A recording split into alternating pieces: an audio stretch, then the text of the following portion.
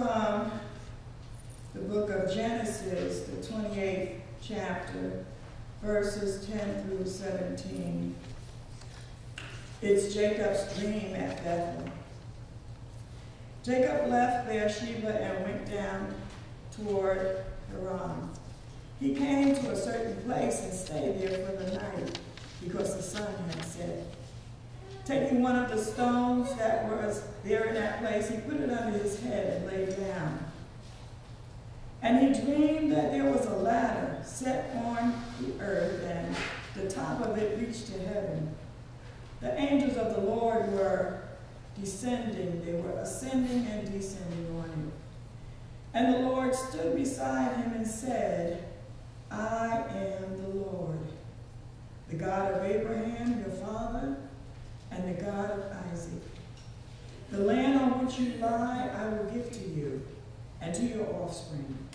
And to your offspring I shall, they will be like the dust of the earth. And you shall spread abroad to the west, to the, excuse me, to the east, and to the north, and to the south. And all the families of the earth shall be blessed in you and in your offspring.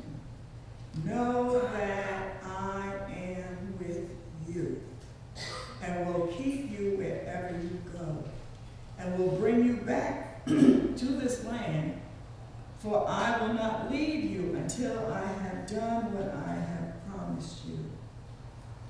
Then Jacob woke from his sleep and said, Surely the Lord is in this place, and I did. And he was afraid and said, How awesome is this place! This is none other than the house of God, and this is the gate of heaven. This is the word of the Lord. I'm going to concentrate on three partial verses in this passage. Verse 13.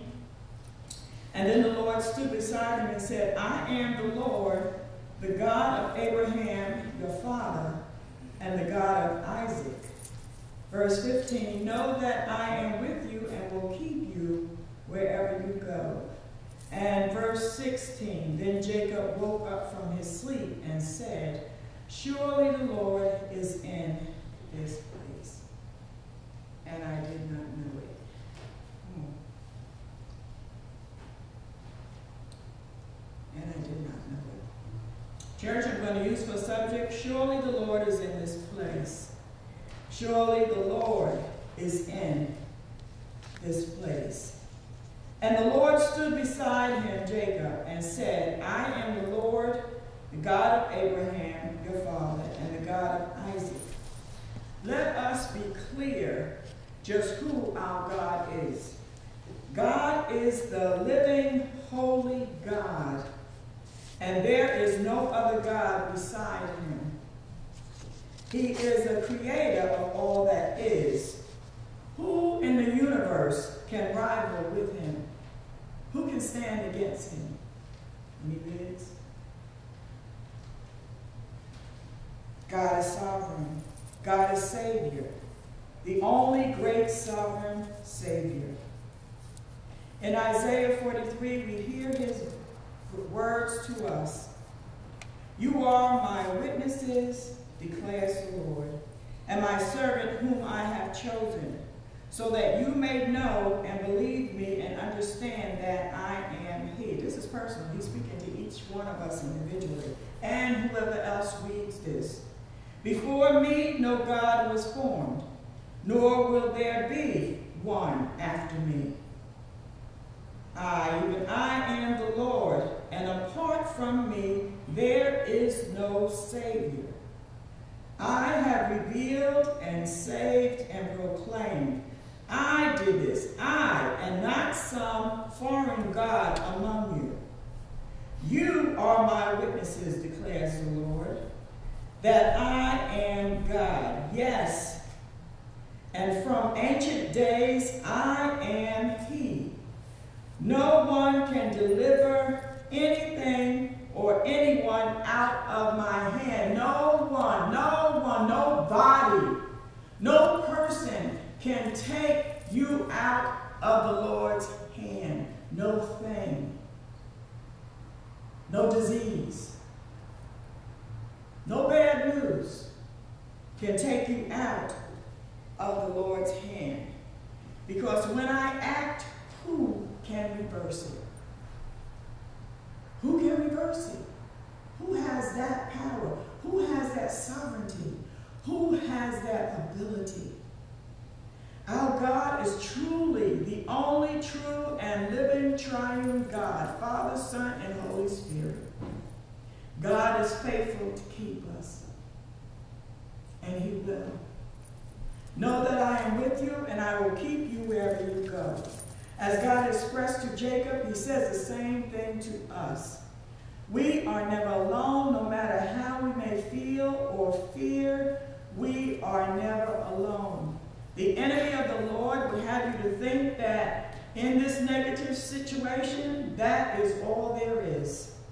But I am here today to tell you and to come against that evil that sits around you, that you may see that God is real.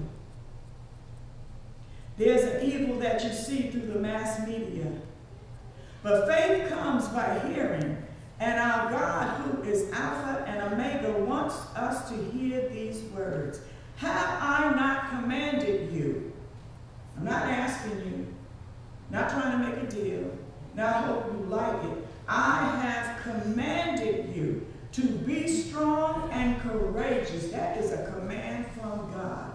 Be strong. He will help you if you want to be strong. And to be courageous. Do not be frightened. Do not be dismayed, for the Lord your God is with you wherever you go. If I don't say anything else, I could just sit down and that could be the end of the service. Because that is what you need to know. Not rely on what you see, what you hear, what you think, what might be. I am with you wherever you go. And in the obedience to Jesus' great commission, therefore we are to go and make disciples of all nations, baptizing them in the name of the Father and of the Son and of the Holy Spirit, and teaching them to obey everything I have commanded you. And surely I am with you always to the very end of the age. How am I going to help people all over the world? Because I'm being kind to this person, and this person knows that person, that person knows the other person, and finally it does go around the world. It's not necessarily you yourself. To be honest with you, I'm not trying to go overseas and do anything for anybody. I'll be honest with you. Now, maybe you want to do it, you got that kind of faith. I don't. I do not want to do that. A struggle enough to do it here. But to go around the world someplace else, you don't have to go. God will give you the strength if He calls you to do that. And I heard a loud voice from the throne saying, Behold, the dwelling place of God is with man. He will dwell with them, and he will be his, and they will be his people, and God himself will be with them as their God. Church, God is with us. Even in the face of terrorist attacks, chaos in the government, shaky presidential resolutions, the rise of warfare, shootings on the rise, and the advancement of technology today that is putting our security at risk. God has you in his hand. Don't wait to believe it. Just keep saying, God has it. God has it. God's got it. God's got it. God's got it. Don't wait to feel it. Don't wait to see it. Don't wait to think it because you won't. If you plant that seed in the ground and you're watering it, you're giving it the right sunshine, the right nutrition, what are you going to do? Keep looking to see if it's coming up? Oh, something has happened. Germination is going on under the earth. You don't see it. But when you start messing around with it, you kill it. God is with you. God is with you. Just remember that our Heavenly Father and Holy Shepherd has taught us to remember, even though I walk through the valley of the shadow of death, I will fear no evil, for you are with me. Your rod and your staff, they comfort me. Even though I walk through the valley of the shadow of death, I'm not waiting to feel that. I'm not waiting for somebody to encourage me and tell me. Your word says that you are with me. You are with me. Lastly, then Jacob woke from his sleep and said, Surely the Lord is in this place, and I did not know it. During a famine, when the poor widow woman prepared what she thought was the last meal for herself and for her son, she shared the bread with the prophet Elijah, and God blessed the ingredients. A jar of flour and jug of oil stayed full during that whole um, famine. She knew that surely the Lord is in my place. Naaman, who had leprosy after he had um, discovered it, he followed the prophet Elijah's. Naaman was not happy. Naaman got kind of raw. You know, when he said, why he to talk to me through the door? Why can't he come out here and say, well, that's a long story. Read it for yourself. He said, you want me to go and dip in that dirty Jordan River? That was the word. Go dip in the Jordan River. Not just dip, but go seven times. After he got over himself, he went and he did dip seven times in that dirty water. And he was healed. His skin became smooth like a child. That's God. That's God doing this, this stuff that seems so crazy. You want me to be already, my skin is already dirty and, and a mess. You want me to go more dirt? Oh yeah, what about the time he spit in the clay and put it on somebody's eye? I don't think so. See, God does things differently. He does things differently. You can't go by what you think, what you hear, what you think you know. Because Naaman said, surely the Lord is in this place. Three young men who put their lives on the line, trusting in God to rescue them, but if God did not, they were still not going to bow down to the king's image. Shadrach, Meshach, and Abednego put their lives on the line. They said, you know what? My God is able, but if he does not, we ain't bowing down to you. And that really ticked that, that um, king off. So he had the furnace seven times harder than it normally is. What? They walked around in that furnace? They walked around like it was the cool of the day. And the king said, I thought we put three in there, but I see four. Oh my God. I see four. And one looks like the Son of God. You're not alone, not even in a fiery furnace. They surely said, God is in this place. Even the crazy king had to say, God is truly in his place. Then there was another time over 2,000 years ago when Jesus actually dies on a cross at Calvary. They put the nails in it, but it wasn't the nails. He would have stayed there without a nail. It was his love for us. His love for us. Who do you love that much?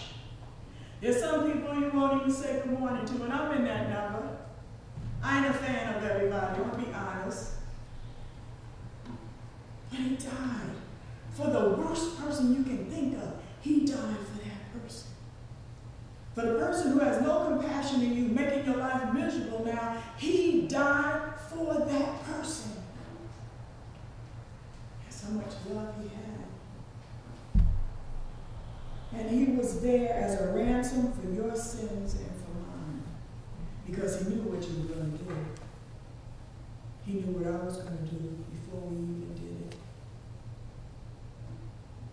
And when he rose in three days, God raised him from the dead. We rose with him reconciled to God, and we are sealed by that love until the day of redemption. Surely, surely, surely the Lord of lords, the King of kings, Jesus the Christ, the Savior of the world was in that place, and many did not know it. And many still don't know it now. And even sitting here, you still have doubts. Because nobody saw what you did. Nobody knows who, how I am. I'm not, I'm not a good person. Nobody knows my sin is just so terrible. Let me tell you something. There's a name above that sin, above that problem, above your fear. The name of Jesus Christ. You call out his name. You call out his name. Call his name and he will come. He will come to you. Don't wait to feel it. Call him. Call him. There's nothing too great for God. No sin that's too great. Nothing you can do that keep him from coming to you. God is not limited by places nor circumstances. Throughout this Lent season, this Lenten season, know that God is everywhere and anywhere you are. Somebody say, oh, yo, I'm in the bar, I'm in the dinner, I'm in the... He's there. He's there. Would you let your child go somewhere by himself? No. You be there. Doing a pole dance or whatever, you would be there for your child. And if you know how to do that, if I know how to do that, then how much greater is God? Because mess with my children, you mess with me. And you don't want to see an angry black woman. You absolutely don't want to see that. And I know some of you up in here ain't black, but you get angry and you can do some stuff too. God will come quicker than that. Whenever there was a problem at school and we had to come, my husband and I both showed up. He said, Oh, Chamber says, don't start. I ain't gonna start nothing. You don't start nothing, won't be nothing. Tell me how you're gonna fix it. And that's how God is, even more so. Even more so for you and for me.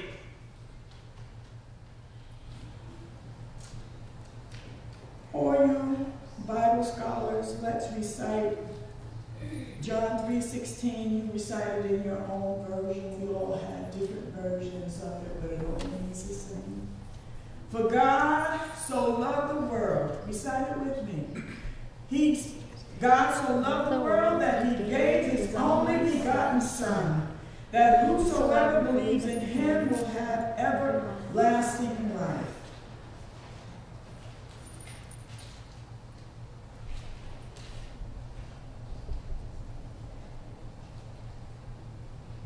And God says, I am the Lord who heals you. I'm the Lord who heals you. He says, when you walk through the fire, you will not be burned. The flames will not set on you or set you ablaze. They won't set on you. Oh, you might feel a little heat. You might have to fan it off, but it's not going to burn you. He says, I am the Lord, the God of mankind. Is anything too hard for me? This is what God says. Is anything too hard for me? So, is there anything too hard for God in your life? When you're smoking that cigarette that you're trying to put down, Lord, help me with this. Help me do this. Have a conversation with him through the cigarette. Not so much the sin in smoking. The sin is what it's going to do to you. That drink, your alcohol, I don't. Talk to him while you're drinking. Help me with this, God. I know it's not right. Not going to heal it. Whatever it is, help me with this, God. In the midst of it. Not, oh, I'm a terrible person, I can't talk. In the midst of it, whatever it is, talk to him. No, there is nothing too hard for God.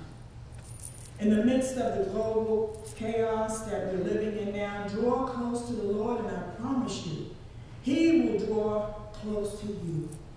Then you too can know Him and say, Surely the Lord